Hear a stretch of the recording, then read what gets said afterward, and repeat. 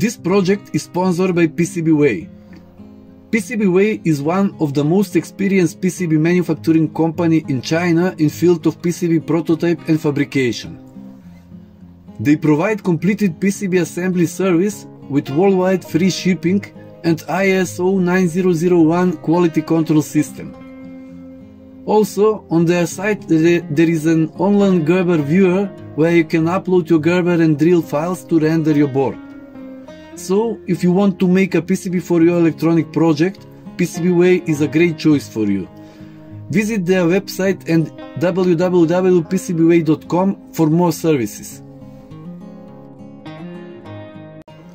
Hello, an ion thruster, also known as ion engine, is a type of propulsion system that generates thrust by accelerating ions to high speeds and expelling them out of the back to the engine.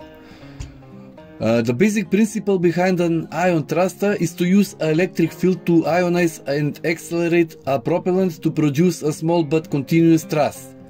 Ion thrusters are used in space, spacecraft propulsion systems where their high specific impulse and low fuel consumption make them ideal for long duration missions. They have been used in space since the 1960s and have been steadily improved over the years.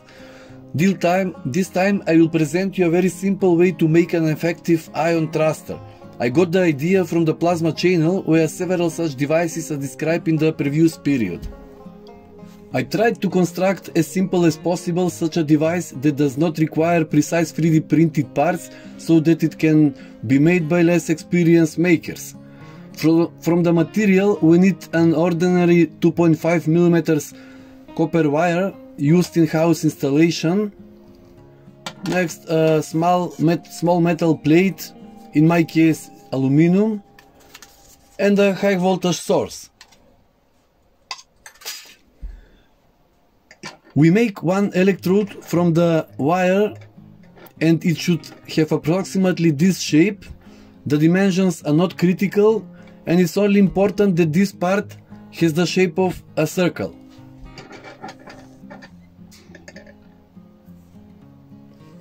For uh, the other electrode is made from thin sheet metal uh, as described later in the video.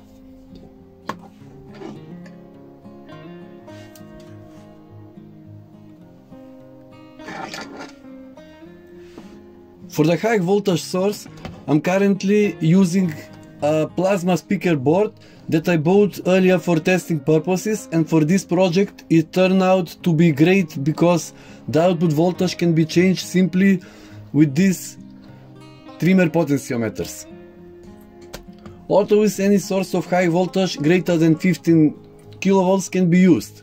You can also build your own high voltage source described in one of my earlier videos. Now let's first test one stage of the motor and roughly measure its characteristics.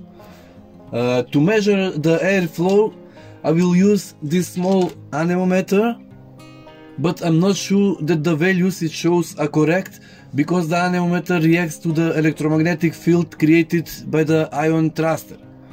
For those reasons I will also use an empirical way to measure flow using uh, candles uh, and a thin light paper.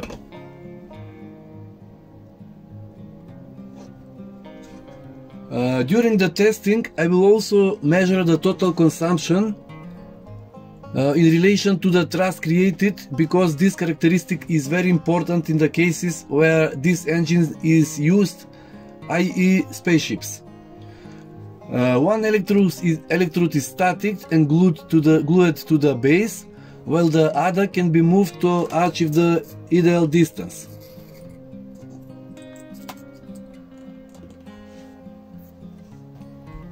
To increase the thrust I will now use three stages, actually three identical units placed in the same line. The electrodes are connected by a parallel connection. This way of placing the motor is suitable in the case where the greater absolute thrust is needed on a small surface, for example when turning in a certain direction. while for constant movement in one direction the stages should be placed in, a, in the same plane one near one. Uh, now I will do a short test. You can immediately visually see that the thrust is in this case is significantly higher and the consumption is almost the same.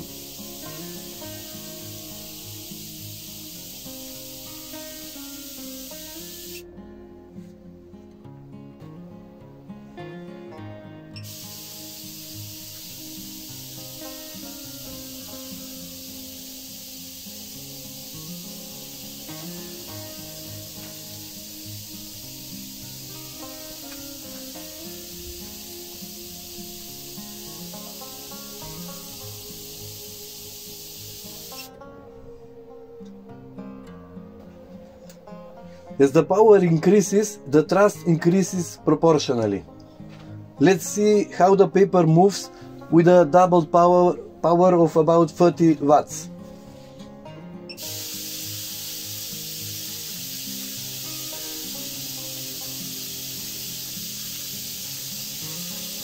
Twenty-eight point three watts.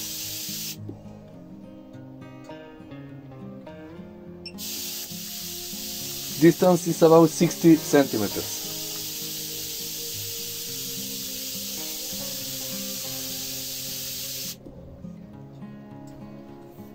If we reduce or completely turn off the lighting, an incredible beautiful visual effect is obtained. A trapezoid formed uh, by plasma can be seen between the electrodes.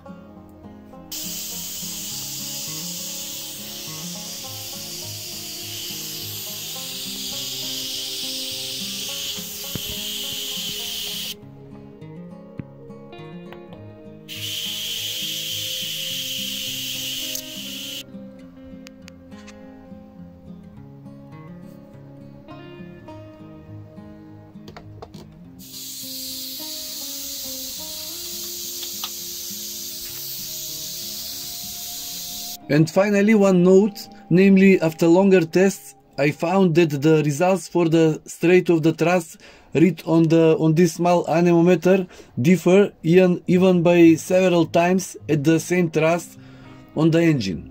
As I mentioned earlier, the electromagnetic fields created by the engine has a huge impact on this anemometer, so if I get a more robust anemometer in the future, I will update the data. Therefore, the, uh, we will ignore these values and the best indicator of thrust state is the flame and thin paper methods. In the following you can see a detailed description of how this device is made.